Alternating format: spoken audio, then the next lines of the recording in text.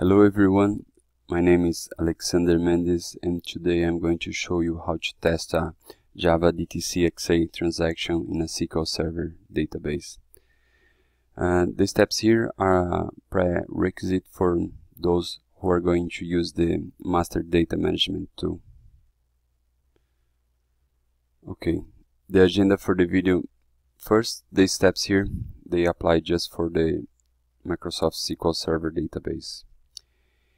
MDM has this requirement for work with DTC distributed transaction in the, the SQL Server. Uh, the details are in the Master Data Management installation guide. It refers to this section here. Uh, we can see uh, it requires to configure Microsoft SQL Server for distributed transactions. In order to, to do this testing, we need to download this test XA utility and test it as it's going to be shown in this video. Since it's a Java program, you need to compile it, so we need a javac. In order to, to have a, the compiler, you need to have a client machine with the Java development kit available. And also, you need the JDBC driver. Let me show you now. Okay, first you need to go to this Microsoft website here, this link, and it has some useful information about the XA transactions. So over here you just scroll down, go to the bottom of the page, and you are going to see this Java code here. What you do is that you just copy it and save in a notepad. So I just copy it, then open a, a notepad. I'm going to paste it here. What you need to do is that you need to save it in any directory as let's call it test xa.java.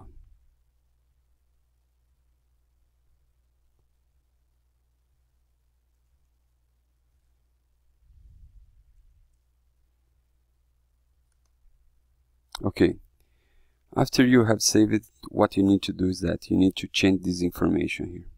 Um, this is the SQL Server database, the port number, port number it is listening, the database name, the username, and the password. Let me change it now. Okay, I just changed the this is the IP address of SQL Server, the port number, the default one, the database name in my example here is called support. I'm going to test it using the CMX system database user and its password. Now I need to compile this program, but by but before I compile it, I need to download this JDBC driver. So I I go here under this uh, another Microsoft link and select this version here Microsoft JDBC driver 4.0 for SQL Server. I hit click.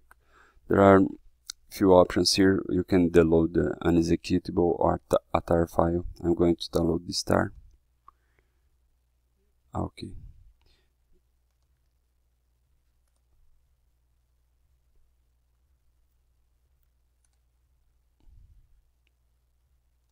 I have this location here I'm going to just replace. I have done this before. I'm going to uncompress it here.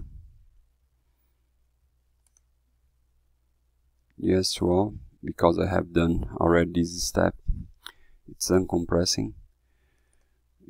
Just create this folder. Okay this is the JDBC driver that I'm going to use. So I just copy this path that I'm going to use it to compile my program.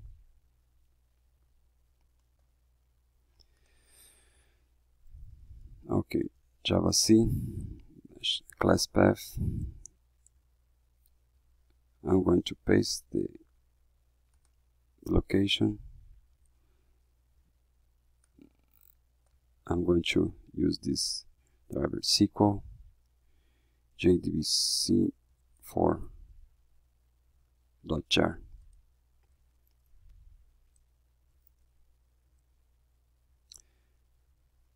test. XA.java let me run it. So it's compiling.